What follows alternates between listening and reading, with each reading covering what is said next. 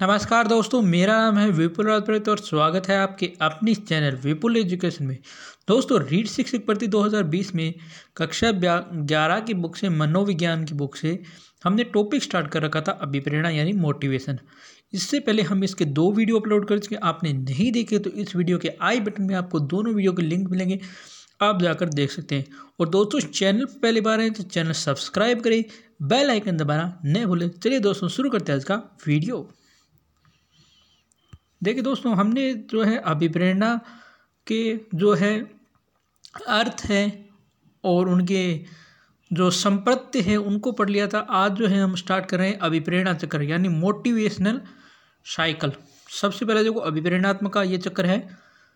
मनोवैज्ञानिक आवश्यकता के संप्रत्य का उपयोग व्यवहार की अभिप्रेरणात्मक विशेषताओं का वर्णन करने के लिए करते हैं। किसी आवश्यक वस्तु का अभाव या न्यूनता ही आवश्यकता है। आवश्यकता अंतर्नोद को जन्म देती है। किसी आवश्यकता के कारण जो तनाव उत्पन्न होता है, वही अंतर्नोद या प्रणोद है या ड्राइव है। इसी के कारण यादृच्छिक क्रियाकलाप के द्वारा लक्ष्य प्राप्त होता है तो अंतर्नोद समाप्त हो जाता है तथा प्राणी भी क्रियाशील नहीं रहता और प्राणी पुनः संतुलित दिशा में लौटा जाए अब देखो, ये चक्र है। इस चक्र को आप ध्यान से देखोगे तो सबसे पहले आवश्यकता आवश्यकता के बाद अंतर्नोद, फिर उद्वेलन, फिर लक्ष्य निर्देश व्यवहार फिर उपलब्धि फिर ए, फिर उपलब्ध उद्वेलन की कमी और फिर ये इस प्रकार ये चक्र चलता रहता है पूरा।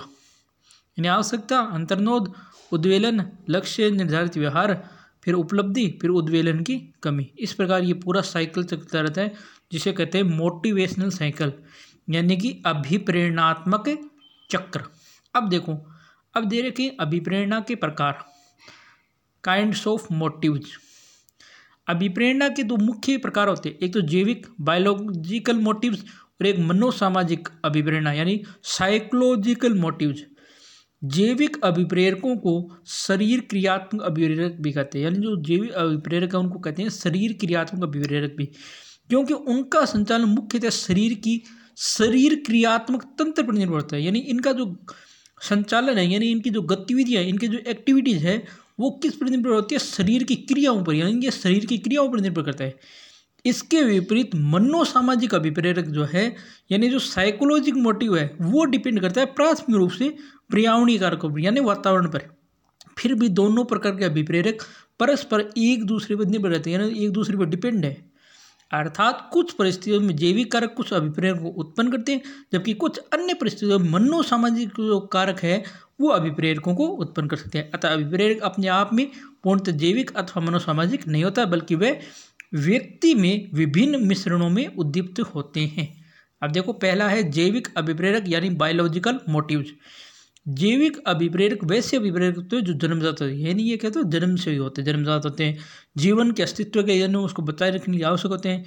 इन अभिप्रेरकों के बिना व्यक्ति जीवित नहीं रह सकता। इन अभिप्रेरकों को शारीरिक अभिप्रेरक भी कहा जाता है। कुछ मनोवैज्ञानिकों ने, जैसे शेरिफ ने, कुछ न्यूनतम कसौटी या विशेषता का उल्लेख किया है, जिनके होने पर किसी भी अभिप्रेरक को शारीरिक या जैविक अभिप्रेरक श्रेणी में रखा जाता है। पहली विशेषता है अभिप्रेरक की अभिव्यक्ति एक ही प्रजाति के सभी सदस्यों में समरूपता यानी समान हो। अभिप्रेरक प्राणी में जैविक मांग अथवा क्षुब्ध आंतरिक संतुलन के प्रति एक प्रतिक्रिया उत्पन्न करे या करता हो। अभिप्रेरक अर्जित न हो चौथा जैविक मांग अर्थात शुभ आंतरिक संतुलन के प्रति की गई प्रतिक्रिया से प्राणी में एक उत्तेजित अवस्था उत्पन्न होती है। जैविक अभिप्रेरक में पाँच मुख्य अभिप्रेरक है, भूख, प्यास, नींद, काम या यौन तथा मनमूत्र त्याग।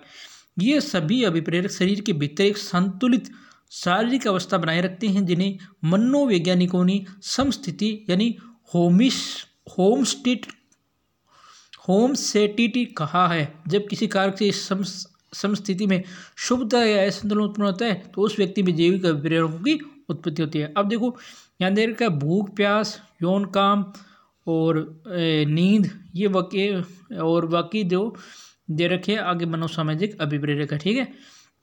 तो इसका जो भूख वाला पार्ट है, प्यास और यौन काम वाला, वो पार्ट जो है हम भूख वाला देख लेते हैं। देखो, व्यक्ति को भूख लगने में भोजन की आवश्यकता होती है।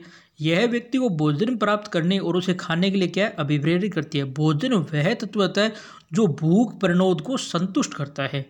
भूख की उत्पत्ति अमाशय की मांसपेशियों के संकुचन से होती है। जब अमाशय खाली होता है तो इसमें संकुचन तेज़ी से होता है। फलस्वरूप व्यक्ति को पेट में दर्द से महसूस होता है, उसके साथ उसको भूख का अनुभव होता है। यानी अब जब भी हमें भूख लगती है तो हमारे तो पेट है, वो उसमें आते हैं ना, पेट खाली है, आवाज़ करे। तो बा आवाज़ कौन सी हुआ है? अमाशय का जो संकुचन हुआ भी हूँ एकदम खाली हो जा तो पेट आवाज़ करने लग जाता अपन लग जा, कि भूख लगी रोटी खा लेनी चाहिए। इस तरह की दर्द को भूख, दर्द भी कहा जाता है। इसे मनोवैज्ञानिक भूख का स्थानीय उद्दीपक सिद्धांत का है। मनोवैज्ञानिक और भूख का अभिप्राय को दो मुख्य शारीरिक आधार बताएँ। पहला हाइपोथेमलस का दो ऐसे क्षेत्र होते हैं जिससे भोजन करने, व्यवहार का निम्न होता है। इस तरह से भूख प्रणोद को प्रभावित करता है। ये दो क्षेत्र है। एक तो लेटरल हाइपोथैलमस एक वेटरल हाइपोथैलमस लेटरल हाइपोथैलेमस एक फीडिंग केंद्र के रूप में कार्य करता है, जो भोजन के व्यवहार को उत्तेजित करता है। और वेंट्रोमेडिमल हाइपोथेमलेस एक तुष्टि केंद्र के रूप में करता है। जब ये सक्रिय होता है तो प्राणी भोजन करना बंद करता है। दूसरा, जब व्यक्ति में चीनी यानी शुगर की मात्रा कम हो जाती है तो इससे व्यक्ति को भूखा अनुभव होता है। जब व्यक्ति लगातार कई घंटों से भोजन नहीं करता ईर्धन की आपूर्ति कम हो जाती है तो यकृत की चाय अपचाई क्रियाओं में परिवर्तन होता है, जिसकी मस्तिष्क सूचना देते हैं। हाइपोथलमस क्या होती है? इसका फलस्वरूप व्यक्ति को भूख अनुभव होता है। एनरोक्सिया, नर्वोसा तथा वुलिमिया नर्वोसा दो खाने संबंधी विकृतियाँ हैं। एनरो नर्वोसा एक ऐसी विकृति है जिसमें व्यक्ति में मोटा हो जाने का असंगत डर बना रहता है। फलता वह खाना लगभग बंद कर देता है, जिससे उसके शरीर का वज़न ज़रूर से ज़्यादा कम हो जाता है। और वोलिमिया नर्वोसा व्यक्ति में बार बार खाने की असधारण इच्छा होती है, जिसके कारण वो बहुत अधिक खाता है और शरीर का वज़न ज़रूर से ज़्यादा बढ़ जाता है। ये दो शरीर के जो है, भूख के विकार है, ठीक है दोस्तों? तो इसका जो अगला पार्ट है, प्यास, यौन काम। वाला जो है हम नेक्स्ट पार्ट में करेंगे, ठीक है दोस्तों? तो ये था आज का वीडियो अगर वीडियो पसंद आए तो लाइक करना शेयर करना कमेंट करना चैनल सब्सक्राइब करना और बेल आइकन दबाना नहीं भूले। धन्यवाद दोस्तों। जय हिंद, जय भारत।